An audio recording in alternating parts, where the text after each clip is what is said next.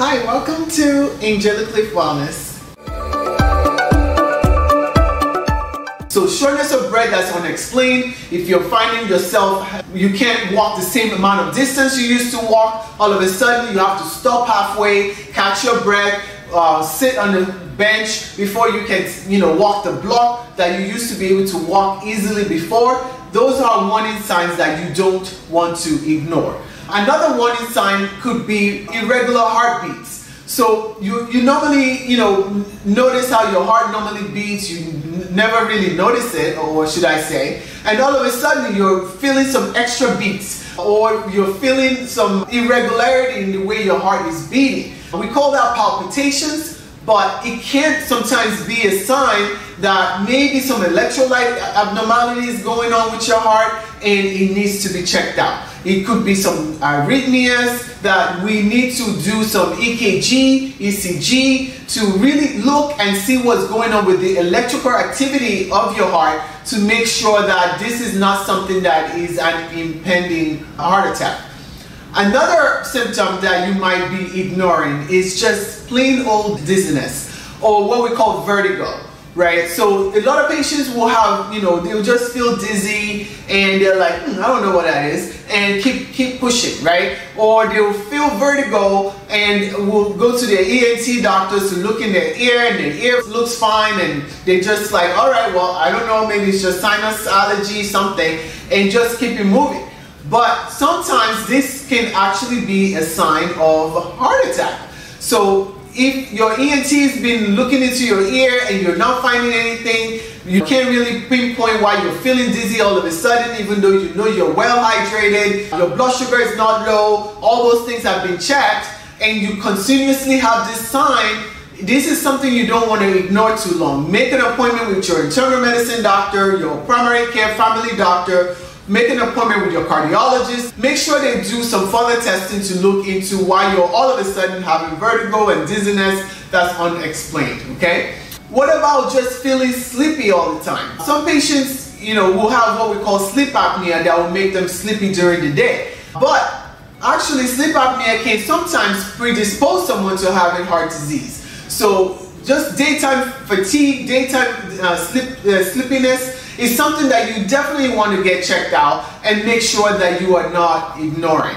okay? I also want to emphasize that your age does not matter, okay? We are seeing an unprecedented amount of young people with heart disease, okay? Because obesity and being overweight and morbidly overweight is causing a lot of people to have heart disease earlier and earlier right? So before it used to be something we see in, you know, the older years, but now, I mean, we're seeing heart attacks in people in their 40s, heart attacks in people in their 30s.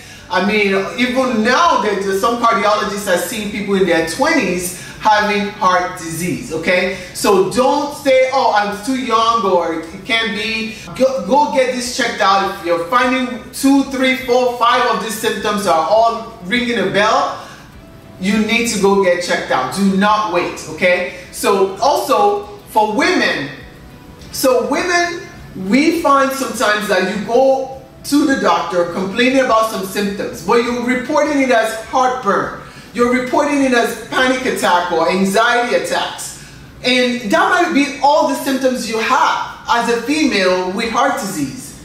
You might never get crushing chest pain. You might not even get shortness of breath. You don't feel any palpitations, no nausea, none of that. You're just feeling heartburn every time you eat or even when you don't eat, just randomly heartburn all the time. And this burn can be a sign that you are actually having heart attack. So before you start taking a bunch of Tums and you know antacids over the counter or Metamucil or whatever it is that you you use to try to help calm your heartburn, you want to make sure that you have had it thoroughly checked out that this is not a early warning sign for you that your heart is not healthy okay? Panic attacks sometimes is you know reasons why people will frequent the ER and you know think that you're having a heart attack because it just feels like you know, you the, the, the room is, is closing in on you, and so that's the only symptom you have. For some people, that's all they have. That is their sign that their heart is not doing well. And so if you're feeling something like this, rather than just medicating it with over-the-counter supplements and things like that, you definitely want to make sure you get this ruled out if you're a female and you're having these symptoms. So what are the other signs that someone might have that might be heart attack coming on and you don't really know? Tingling feeling, right? Some people, all they will feel is no chest pain, but just some type of tingling feeling just running through maybe into their left arm or into their jaw and that's all they experience. They don't feel the pain in the chest, it's just some weird sensation just going down to their left arm or going to their back or going up their jaw and that's it. So for some people, that's all you get. That's all the warning signs your body wants to give you. So you're feeling these weird sensations coming on from nowhere. You don't know why you're having it. It's, it's happening repeatedly within a short amount of time. Definitely stop what you're doing. Call 911. Have someone drive you to the hospital to get you checked out. Why don't we want you to drive yourself to the hospital?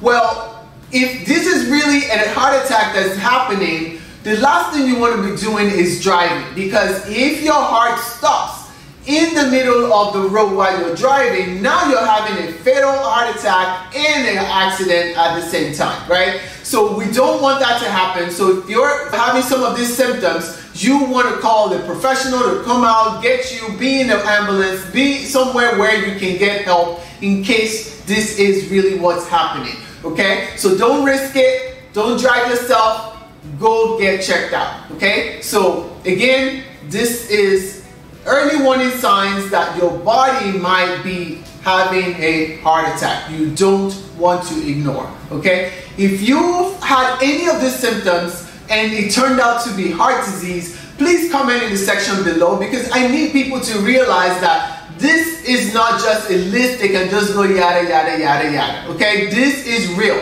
more than half a million Americans are dying of heart disease from these basic symptoms every day, okay? So you want to take this seriously, you want to know the signs. If you see it in yourself, in your loved one, in your parents, in your, in your children, you want to get help quick, okay? Because the time between you, you noticing the symptoms and getting help is how much of your heart muscle you can save. And if your heart muscle is saved, that's how you recover, okay? But if you wait too long, you're losing heart muscle and you're causing a fatal issue, okay?